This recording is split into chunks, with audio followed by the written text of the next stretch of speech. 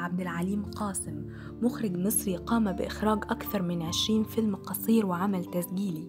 بدأ مشواره الفني في فترة التسعينات من أشهر أعماله فيلم القرار دراما تسجيلية بطولة الفنان كريم عبد العزيز وأغنية النيل ولا بيوصل للنجم محمد منير والتي حازت ذهبية مهرجان الإعلام العربي.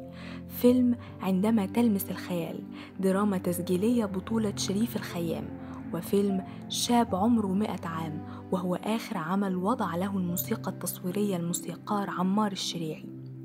وفيلم أماكن الصمت الذي حاز على برونزية مهرجان الإذاعة والتلفزيون وهو أول أفلام ثلاثية التعايش الديني في مصر والتي أكملها بفيلم نحلم سوا واختتمها بفيلم حارس الحصون.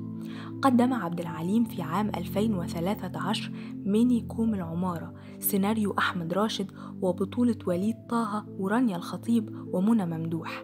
والفيلم الروائي القصير جوه السكون كما قدم فيديو كليب حي العلم للملحن والمطرب عمرو مصطفى والتي حازت لقب أحسن أغنية وطنية عام 2016 من مونديال الإعلام العربي. كما أنها من آخر أعماله فيلم جامعة أون.